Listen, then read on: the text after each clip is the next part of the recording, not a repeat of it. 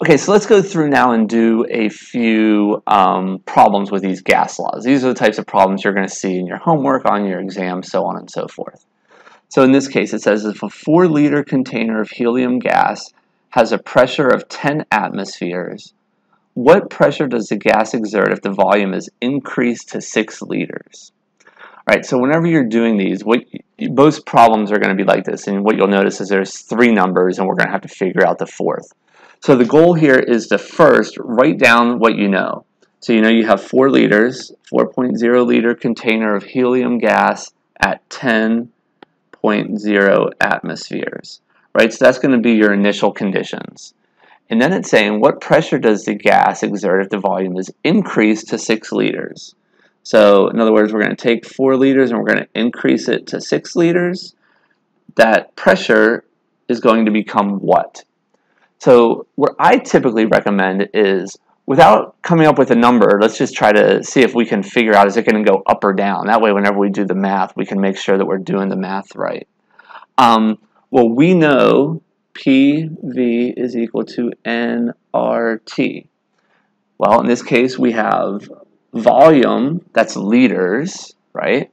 And we also have a pressure, because that's what we know atmospheres are right? So we know our two units are pressure and volume. They are on the same side of the equation up here. For pressure and volume, because they're on the same side of the equation, that means they're inversely proportional. One goes up, the other goes down. So in this case, our volume goes up. That means our pressure has to go down. So we should get a number that's less than 10 atmospheres. So here's how we're going to do it. We know that these guys over here are going to stay constant. So that means that PV is equal to PV. P1V1 is equal to P2V2. So you could call this P1V1. This you could call V. Whoops, didn't mean to zoom in there. Um, so we could call this V2, and the question mark here is going to be P2. So let's just go ahead and plug our numbers in. P1 is going to be 10.0 atmospheres. V1 is going to be 4 liters.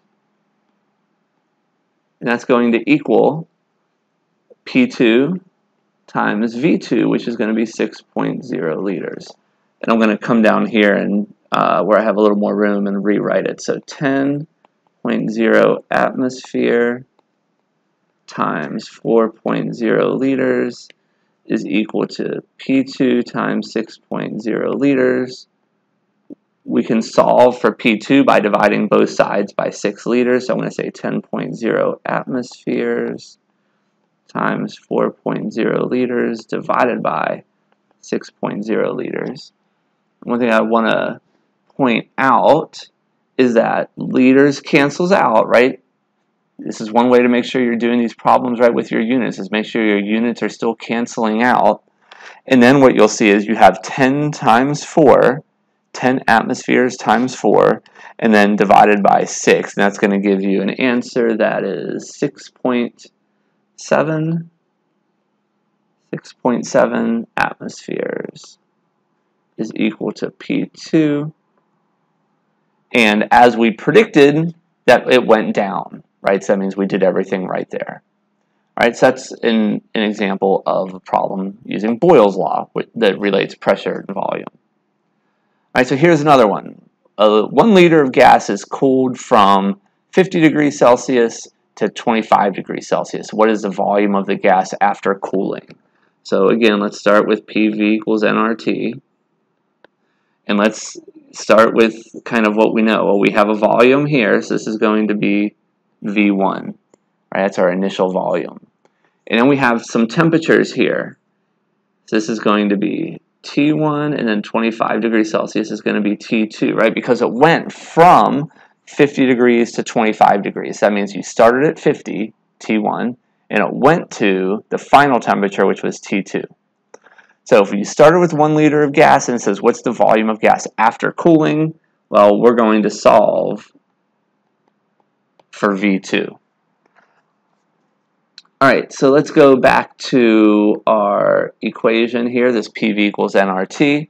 what's the relationship between volume and temperature? Well, they're on opposite sides of the equation, which means they should be directly proportional. So that means that since the temperature went down, the volume should go down. And whenever we have this, we write it as V over T equals V over T. Okay? So again, when they're, well, that should be a T too. Whenever you have things that are directly proportional, you're going to divide. So now, just like in the previous case, we can plug in our numbers. So V1 is going to be 1 liter, and I'll write it over here. 1 liter divided by T1. Now, if you recall, all of our temperatures have to be in Kelvin. So we have to convert these numbers to Kelvin. 50 Celsius plus 273 is equal to 323 Kelvin. So that's the number that I need. If you were to put this in in Celsius, you would get a wrong answer. So you have to make sure you do it correctly. 25 Celsius plus 273 is equal to 298 Kelvin. So we don't know what V2 is. We do know that this is 298 Kelvin. So now to solve this, I'm going to cross multiply. So I'm going to take V2 times 323 and say that's going to be equal to 1 liter times 298 Kelvin. So V2 times 323 Kelvin is equal to 1 liter times 298 Kelvin. V2, now I'm going to solve for V2 by dividing both sides by the 323 Kelvin. 1 liter times 298 Kelvin divided by 323 Kelvin.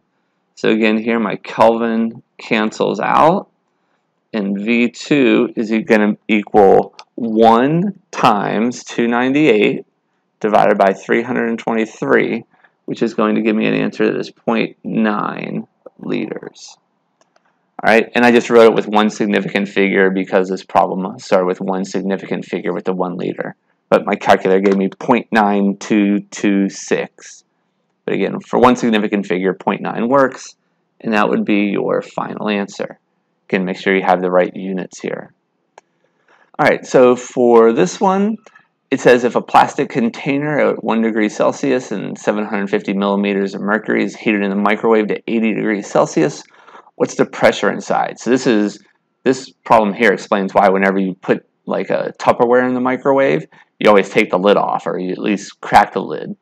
Um, because what we're going to see here, right, if we remember that uh, PV is equal to nRT, we can see that we're increasing the temperature, right? Temperature, we're increasing the temperature, which means that pressure should go up because they're on opposite sides of the equation.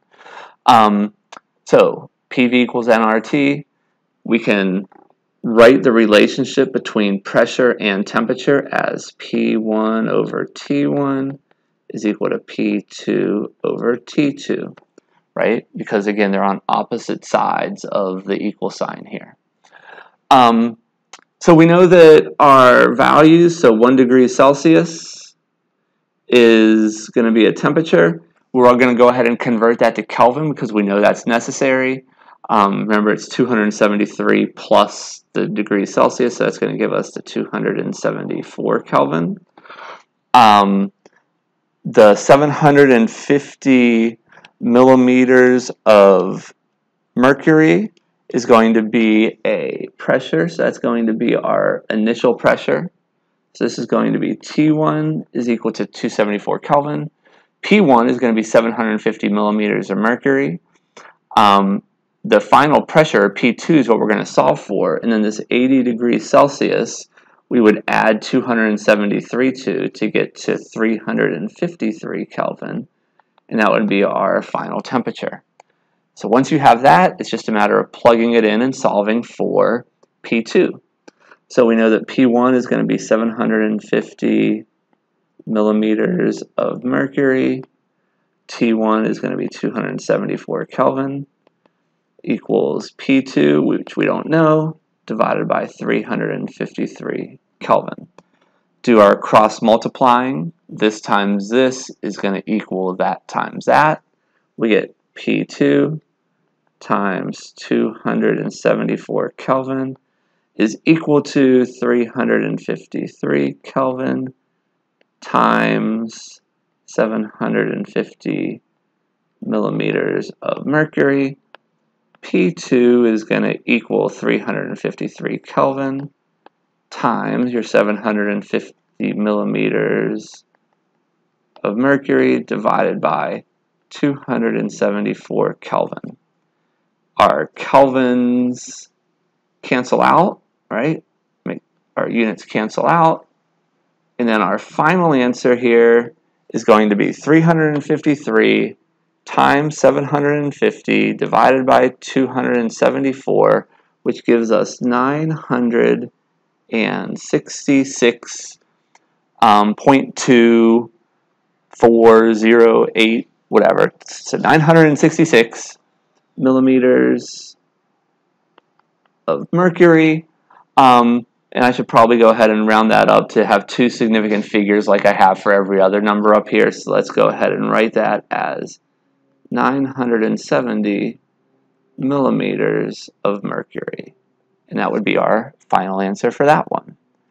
So again, all of these problems, you're going to be doing the same thing. You identify your variables, figure out what they are. Based on the ideal gas law equation, you kind of figure out which of your specific gas laws to use, and you plug your numbers in. Now, this last one is a little bit different. So this last one says, how many moles of gas are in a human breath that occupies 450 milliliters at one atmosphere and 37 degrees Celsius? So the one thing you'll notice about this one is it doesn't say that anything's being changed. There's no temperature going up, there's no pressure going down. It's just asking, how many moles are there? So for this one, we know that PV equals nRT, and it is just using this equation to solve for the number of moles. So we're going to use this to solve for n. Okay? We always know what R is, right? R is a constant that's a given. Temperature, check, we have it. Volume, check, we have a volume. Pressure, check, we have it. So now it's just a matter of plugging in all of these numbers uh, to solve for n. So what I'm going to do is rearrange the equation. I'm going to say n is equal to PV divided by RT. So basically I divided both sides of that this equation here by RT and so now I have PV divided by RT is equal to N. That's going to allow me to solve for N. Now what I want to do is uh, point out that we have our pressure in atmospheres. So one thing that we have to do, if you recall, I said whenever you're doing problems like this, you have to know which of the R's to use, right? There was two different R's. So in this case, the R that we're going to use has to be the R that has a value in atmospheres. So I'm going to go ahead and fill in the rest of my unknowns. So the pressure is going to be one atmosphere. The volume is 450 milliliters divided by, if we were to go back, I'll click back through my slides here. Might take me a minute to get there. And here is R. So notice that R, we want the one that's in liters atmospheres mole Kelvin, not the one that's in liters torr. So this is how you would know which one. You're looking to match your units, atmosphere. So 0.0821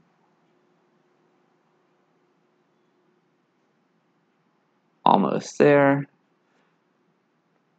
0.0821 liters times atmosphere divided by moles times Kelvin.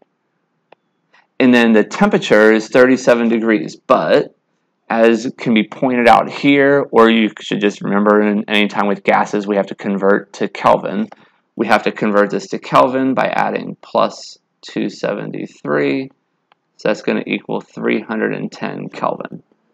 So 310 Kelvin. Okay, so there's one other thing we have to do here. And if you notice, our value of R says liters, atmosphere, mole, Kelvin. So I'm going to go ahead and start canceling out units. Atmosphere cancels with atmosphere. Kelvin cancels with Kelvin. We're solving for moles. Now, the one thing that doesn't cancel out is I have a liter here and I have a milliliter here. So, one thing that we're going to have to do before we can finish this problem is convert this milliliter number to liters. So let me just come down here on the bottom of the slide. 450 milliliters times, you have 1,000 milliliters per one liter, and that's going to equal 0.450 liters.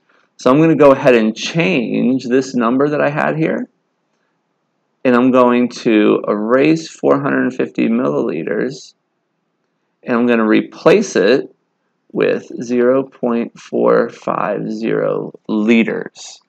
Okay? So now I can go through and actually cancel out my liters, and I'm left with moles. Um, it's a little bit tricky whenever you have something that's on the denominator of a denominator, it actually flips back up, so our final answer will be in moles. Um, and now we can go ahead and do the math. So in this case, it's going to be 1 times 0.45 because we converted to liters, divided by 0.0821, and then divided by 310. And our answer here is going to be, I'll do it in red to be consistent, uh, 0.02. And again, I'm writing this in, with one significant figure because this was just at one atmosphere, but I got 0.01768 um, on my calculator. So the answer, though, is 0.02 moles. Um, so on my calculator, I did it exactly as I read it to you. I did 1 times 0.45 divided by 0.0821 divided by 310. The other way you could do this is um, 1 times 0.45 and then divided by, then in parentheses, 0.0821 times 310 end parentheses, and you should get to the exact same number. But make sure you're comfortable with that math and get to the correct answer here, which should be 0.02 moles. So this problem here asks what volume will be occupied by 0.1 moles of H2 gas at STP, and it also says what volume will be occupied by 0.1 moles of CO2 gas at STP. And one thing I want you to draw your attention to is this whole at STP part for both of these. Right? Anytime you hear that term, you should be thinking, okay, this is standard temperature and pressure. This has to do with that standard molar volume that we talked about. Right? So that standard molar volume, if you recall, is 22.4 liters per mole. Okay? So that's going to be our conversion factor that we're going to use, and it doesn't matter what gas. So Whatever we calculate for the top one here, it's going to be the same answer for the volume one because 0.1 moles of any gas at STP is going to occupy the same volume. So for this one, we're going to do 0.1 moles of gas. We're going to use the conversion factor to convert 22.4 liters per mole. Our moles are going to cancel out. Moles cancels with moles. And our answer here would be 2.2 two, four liters. Now, we need to write that with only one significant figure though. So we'll say 2 liters of H2 gas and 2 liters of CO2 gas. All right, so both of those are the answers for that one.